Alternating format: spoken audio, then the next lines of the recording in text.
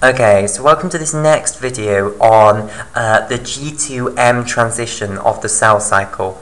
Okay, so we haven't actually discussed the G2M transition, but at the moment I'm just sort of um, talking about the general cell cycle so that we can build up this gradual picture and put everything together basically uh, because I don't want you just to know uh, isolated bits of the cell cycle in isolation and not have the picture sort of joined together. So I want to um, join bits together as we go along. So we're recapping at the moment the G1S transition. Okay, so you've seen that towards the end of G1 phase, the levels of cyclin E CDK2 spike basically.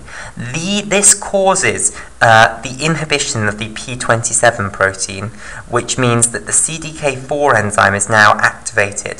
CDK4 can then bind with cyclin D and this cyclin D CDK4 complex is then capable of phosphorylating the retinoblastoma protein, inhibiting it, and it then releases its cargo, which is this E2F DP complex. Okay, we've also seen that the cyclin ECDK2 is also actually capable of directly phosphorylating the retinoblastoma protein and therefore also releasing the E2F-DP complex. So, we now need to see what this E2F-DP complex is actually going to do. Okay, right, so let's draw it out here. So let's say this is our E2F DP complex, and I've forgotten what colours we drew it in. It was green and orange, I believe. Orange was E2F. Right, so this is our E2F DP complex. So in orange, this is the E2F transcription factor here. And in green, this is the uh, dimerization partner of the E2F transcription factor. Okay, right, so we've got our E2F DP complex. Now, this is basically a very powerful transcription factor. So once it's been released by the retinoblastoma protein, it's going to translocate into the nucleus of the cell. So let's say here is the nucleus of the cell. Okay, and it's going to bind to the promoter region of certain genes. So let's say this is a gene here. Well, this is a piece of DNA actually. And uh, basically, upstream of most ge of in fact all genes in the uh, human genome, what you have is a region known as the promoter region. Okay, so let's say this here represents our gene in this box.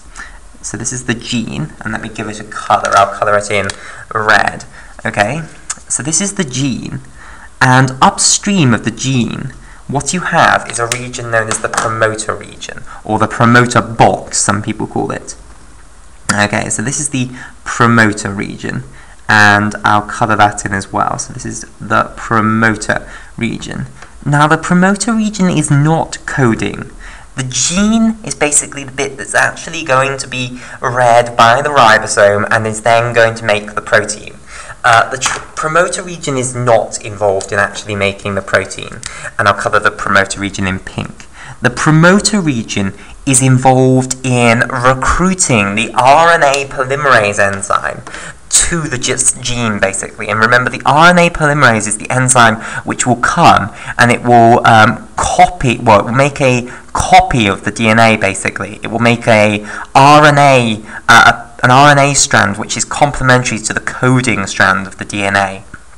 Okay, uh, so uh, if you want to increase the expression of your gene, i.e. you want to increase the amount of the gene uh, product for which this gene encodes, then you need to increase the amount of mRNA you're making from this gene. So you need to increase the amount of, uh, of times that the RNA polymerase is going to come and transcribe this gene.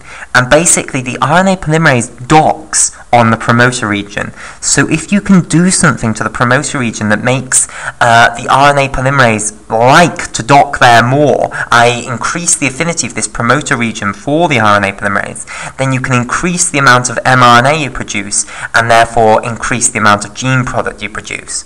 So this is what this E2F um, dimerization partner transcription factor is going to do. It's going to come along it's going to bind to this promoter region here. So this is in green, uh, and the E2F transcription factor is in orange. So it's going to come along, bind to this promoter region, and it's going to increase the affinity of RNA polymerase uh, for binding to that promoter region, basically. And uh, that will increase the expression of certain genes. So the um, the promoter regions that E2F binds to are going to have their expression, uh, well, ex the expression of the downstream gene is going to be increased. And one of these such genes that is going to have its expression increased is a protein known as cyclin A. Okay, so if we now extend our graph of the different, oh actually we'll, we'll, we'll, just talk about what cyclin A does first and then we'll extend that graph of the different cyclin-dependent kinases that I said reminded me of the menstrual cycle. Okay, so cyclin A basically is a protein that's going to bind to another cyclin-dependent kinase and is going to activate it basically to have certain activity.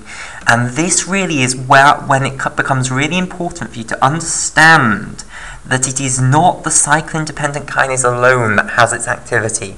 Its activity is completely and utterly controlled by the, well, mediated by the cyclin that binds to it. Because the cyclin-dependent kinase that this cyclin A is going to bind to is one that we've met already.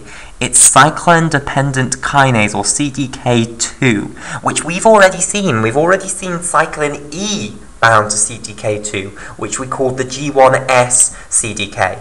But now we've got cyclin A bound to CDK2, and the function of cyclin A CDK2 complexes is very different. So this overall is a cyclin A CDK2 complex, and this again has another name.